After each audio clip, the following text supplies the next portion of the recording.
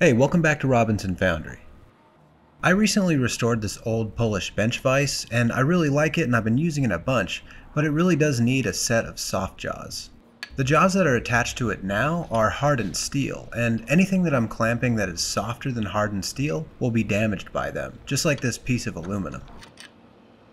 I made a set of copper soft jaws for my Wilton vise and they work really well. However, not very many people have the ability to cast and machine a pair of copper jaws. So I thought it would be interesting to try making some out of pewter, which is a soft metal that has a very low melting point.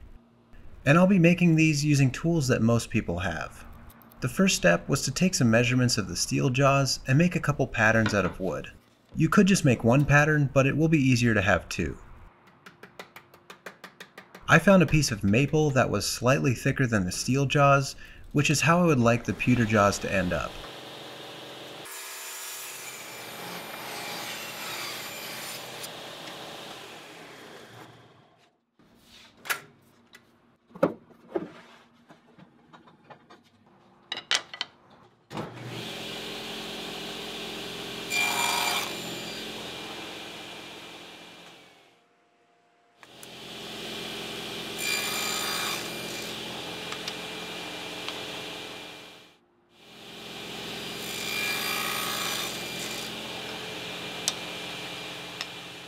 Next, using a disc sander, I sanded some draft onto the edges.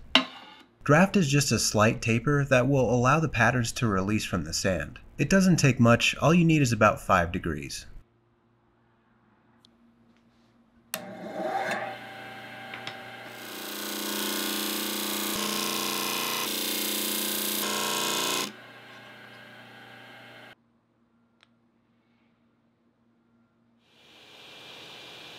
Now that I had my patterns made, I needed to make a little box that I could fill with sand. This can be made out of all sorts of things, it doesn't have to be anything special. I had some 3 quarter inch plywood on hand, so that's what I used.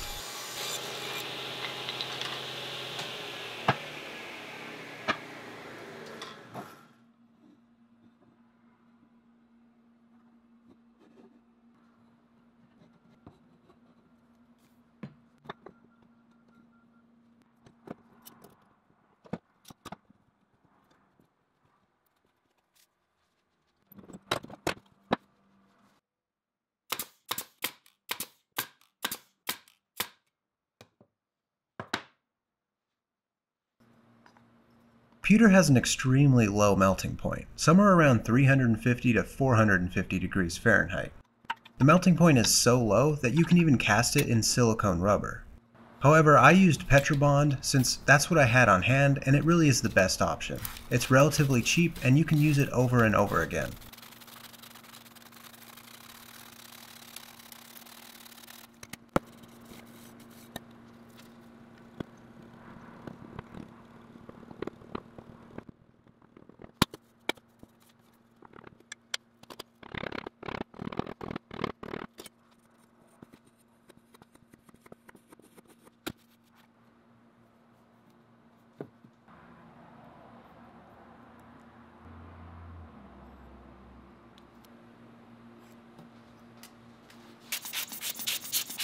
Regardless of what material you're casting into, it's important to make sure that the mold is nice and level.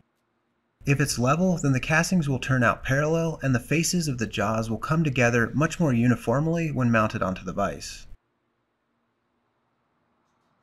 Not all pewter is stamped, but you can tell it's pewter if it bends easily like this. I buy my pewter at yard sales and thrift stores. You can find it online, but if it's being sold as pewter ingots, you're definitely paying way too much for it.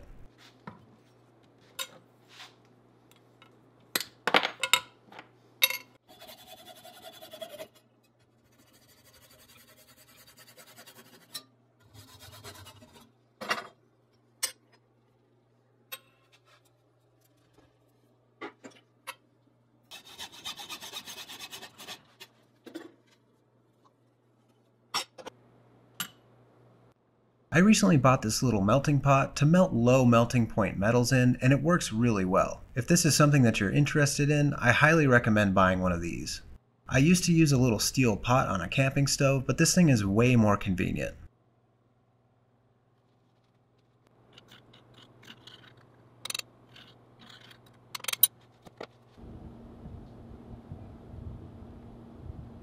I ended up filling the first mold just a little bit too much, but I did a better job on the second pour.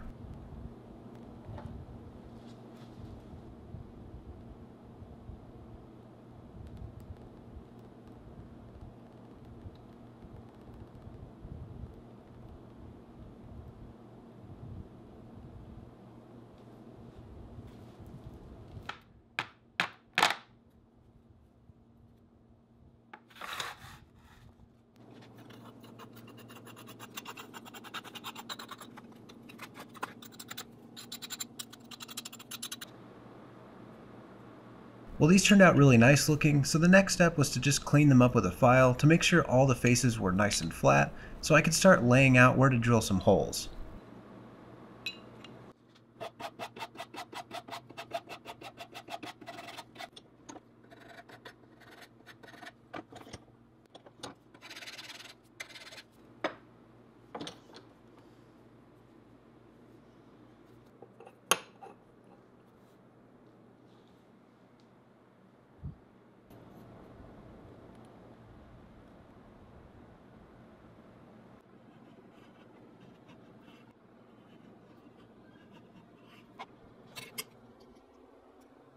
And yes, I know it's not great practice to mark with calipers, but this ultra soft pewter is not going to damage these.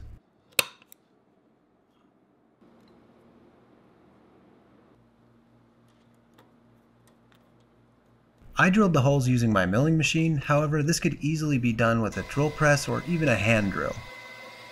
I really didn't do anything precise here, I mostly just eyeballed the position of the holes.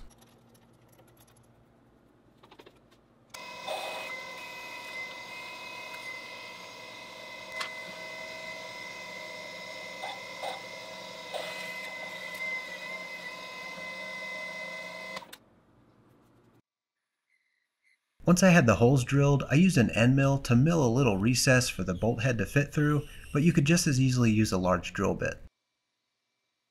Machining the soft pewter is really strange. It's obviously a metal, but it machines like a plastic, and the chips aren't really sharp at all, they just crumble in my hand.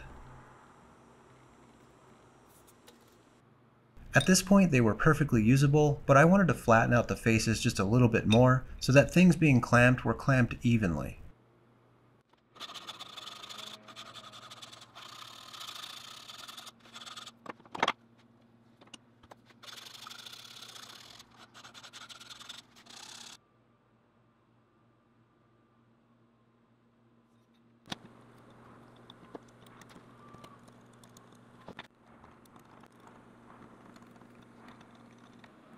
After filing, the two faces were pretty parallel, but I wanted to do an even better job. So I clamped a file between them and ran it back and forth.